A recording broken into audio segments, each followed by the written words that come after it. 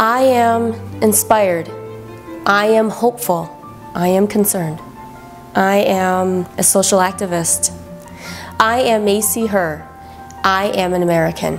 I am an associate professor of education at the University of Wisconsin-Stevens Point. Well, this is a area where there are hard-working families. Uh, many people consider this place a wonderful place to raise a family. I think that one of the greatest challenges is people keep within their own circles. And um, I think that the challenge is bringing the community all together. Something that's very important to me is unity. I often hear that people are just, they just hang out with people they're comfortable with, and that's okay. And for me, that doesn't seem to be enough. Um, I think that a community needs to be a whole community.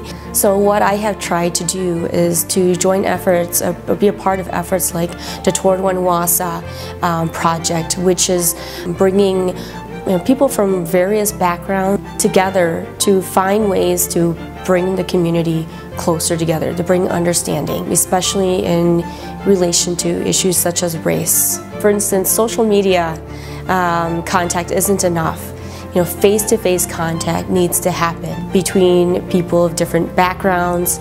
Um, we also need to be very intentional about making sure that we include people of different backgrounds in our various, um, whether that be on boards or committees or the work that we do in our places of employment.